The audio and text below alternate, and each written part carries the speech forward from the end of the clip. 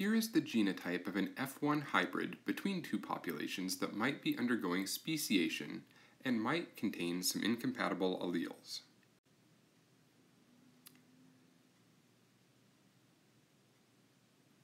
If two F1s mate, we need to predict what the genotypes of their offspring will be so that we can know if some combination of alleles are missing because that is how we are going to find evidence of incompatibility, which genotypes should have been created, but that we do not observe. When the individual produces gametes, sperm or egg, through meiosis, we have to consider Mendel's second law, independent assortment, to predict what genotypes we should see. Briefly, for each chromosome that's heterozygous, half of the gametes will contain the mutation and the other half will not. So, here are the gamete genotypes, or haplotypes, that can be produced by this F1 parent. Half are red, and half are yellow, and half are blue.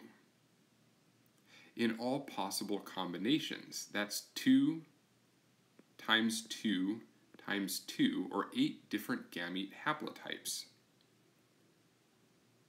Both F1 parents produce the same combination of those 8 haplotypes, and each parent should produce about the same number of gametes with each haplotype according to Mendel's laws.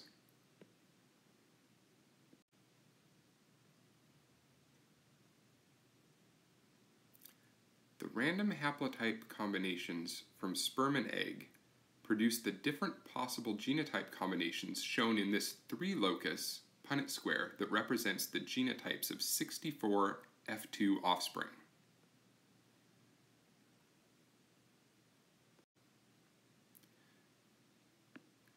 Based on this Punnett square, we would expect that one out of every 64 F2 offspring would have this genotype in the upper left, which is homozygous red, homozygous yellow, and homozygous blue.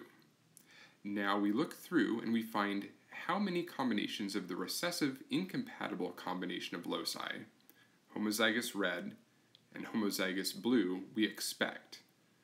All four genotypes in the upper left, which is 4 out of 64, or 1 16th, of all F2s. In sum, if two incompatible alleles exist in two populations, to find evidence of that incompatibility, make an F1 hybrid. If it survives to reproduce, then it is unlikely there's a dominant incompatibility because a dominant incompatibility would have been revealed in the F1 itself. Its F2 offspring are then genotyped, and the absence of one expected genotype would suggest the presence of an incompatibility.